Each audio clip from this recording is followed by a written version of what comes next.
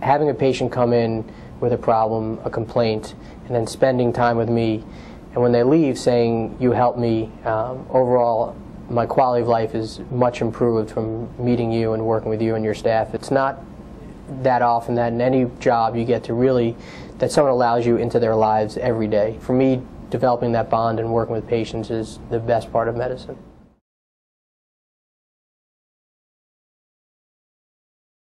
Growing up, my dad was a urologist, and I saw the positive impact he had on patients' lives every day. From a young age, I knew that that's, that's what I want to do and what I want to be.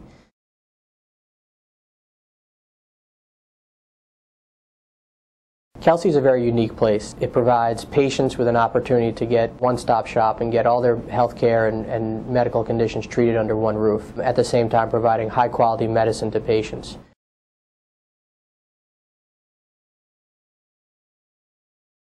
As a specialist in uh, pelvic reconstructive surgery, we deal with and treat incontinence in men and women, uh, women who have pelvic organ prolapse, uh, as well as complex pelvic reconstruction.